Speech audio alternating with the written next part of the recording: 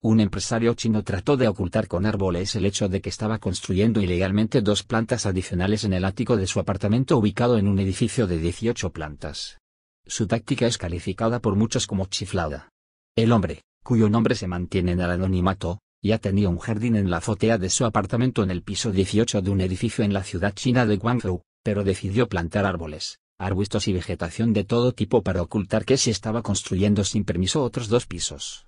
La estafa se dio a conocer cuando uno de los residentes, preocupado de que pudiesen dañar el resto del edificio, se quejó ante los medios de comunicación locales luego de que los funcionarios locales desollaran sus denuncias por dos años. El vecino que filtró el suceso, que pidió no ser identificado por temor a represalias, considera que el empresario, que compró la suite hace varios años, tiene buenos contactos en la administración de la urbe, Expertos en construcción entrevistados por medios locales dijeron que las obras ilegales adicionales podrían afectar adversamente a toda la estructura, explicando que el edificio debe ser examinado para comprobar que no existen daños irremediables. Hasta el momento, el Consejo local no ha hecho comentarios al respecto.